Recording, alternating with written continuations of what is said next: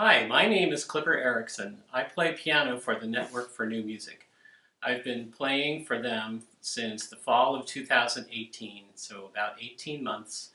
And so I'm quite a newbie, and my time with them I have enjoyed very, very much. I love the people and the music. The programming is wonderfully inventive and colorful. And I'm originally from California, and my heart is very much in the West. Um, and I grew up knowing music from a young age, although I didn't have a lot of exposure to concerts. I took piano lessons and was a good student, but not an extraordinary one. My parents tell me that I always loved music, and especially the piano. I love to go to the piano and try out the keys and to see what kind of sound that I could make with the piano. And uh, as a teenager, I kind of got the bug and decided that I wanted to do this for my life. And I started practicing a lot, getting up at 5.30 in the morning sometimes to get a couple of hours in before school. At that point, my parents decided that it was time to refinish the garage and move the piano out there. But as a teenager at age 14 or 15, I was rather behind the curve but I practiced very hard and was able to enter the Juilliard School on a scholarship at age 18. And since then, I've lived my life on the East. I um, graduated also from Indiana and Yale, and most recently in 2014 with my doctorate at Temple University. And when I was asked to perform with Network, I was really excited because I had played a lot of contemporary music and done premieres and recordings, particularly of local Philadelphia composers like David Finko and Richard Broadhead. And I enjoyed playing their music, particularly because it was very colorful and very dramatic and not terribly cerebral. So I was really excited when they asked me to play, but I was a little bit scared because I had never played with several of the people that um, that were the other musicians at Network, but they were so wonderful to work with. They put me at ease right away. And my first concert, I was asked to play some chamber works and also a piano solo piece by Morton Feldman. Now, Morton Feldman, I knew the name, but I didn't know his music very much. And when I got the score, it had an aleatoric notation without any notated rhythm. And so I would, really didn't know exactly what to do with it. And I was a little worried that I wouldn't play it correctly. But then I started playing through the piece, and the sonorities and the chords were so enjoyable that it just came to me rather naturally. It was very quiet, delicate, to be performed with the piano lid down. So I really enjoyed performing that on my first network concert back in the fall of 2018. And in 2019, I became seriously ill. I needed open heart surgery, and this was a week before I was scheduled to play my next network concert in February of 2019. And everyone there was so very kind, and they cared about me and asked about my health and really I was so touched at the at the interest and the compassion that they had for me and my illness.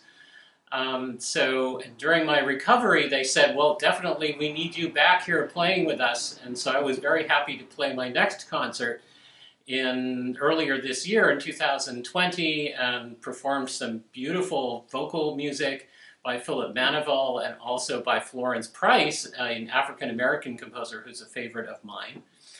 Um, so I've really enjoyed my time with Network. They are the most wonderful people. And I would have to say that the best thing about Network, besides the great music, is the people. So I, so far as what my favorite network performance was that I've been to, it's not so much about that. It's so much about, it's more about enjoying the, the other musicians and the director, Thomas, and, and all the people in the office that I work with. So I'm very grateful to know them. And so far as my tastes in music, well, they're maybe not quite so typical. So they wouldn't fit too much into what your, your suggested answers are. I don't particularly care for either Bruckner or Mahler, at least since I was 18 years old. I prefer Sibelius. And so far as 20th century music composers, my favorite is Bartok. Bartok strikes me as being the most colorful and inventive and original of all of them. And that's just my opinion. And so far as American composers, I particularly enjoy American composers that have an ethnic root. Um, Alan Hovhaness is a favorite of mine, and I'm particularly involved in African American composers. I've spent a lot of time researching and performing the music of Nathaniel Dett. He's kind of my specialty. He was an African American composer in the early 20th century. I did my dissertation on his music and did the first recording of all the piano music in 2015, about two and a half hours worth. Um, so Florence Price is also a favorite of mine. So that's my taste in, in recent music. I particularly enjoy music that's colorful, that has narrative, and I'm going to perform now for you a piece by my dear friend Laurie Altman. Laurie Altman is a jazz pianist who lives now in Switzerland. I knew him when he lived in Princeton and taught jazz at Westminster Conservatory and also Princeton University. And he's written a lot of piano music, especially sonatas. 11 sonatas he's up to now. I've recorded two of them, uh, premiered another one, and am involved in, in performing another two, so I hope to do some recording of his music in the near future. Um, so he's also written a set of preludes and fugues, and um, the, in particular, one really struck me as being particularly beautiful, and that's a prelude in G flat major. And this piece is so calming, and I think we need that more than ever right now when everyone is so stressed and anxious about what's going on with the COVID 19, and we don't know what's going to happen we're worried and frightened and frustrated sometimes that we can't do what we used to do and our routine is so different and so impacted.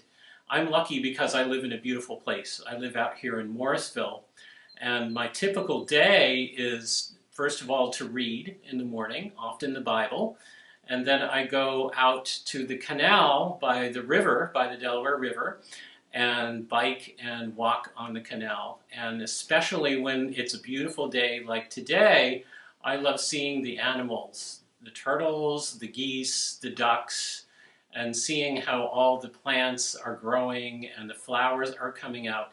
And this particular piece sort of reminds me of that of that those walks. It's like walking on the canal where you see all these magical things and all the changes, maybe the changes in the weather, the breeze blows up a little bit and stirs the water up, or birds fly, or you hear the woodpecker knocking. And I think that this piece represents that. And I think we need to remember how beautiful nature is and what beautiful beauty we're surrounded with all the time, in, particularly in this time.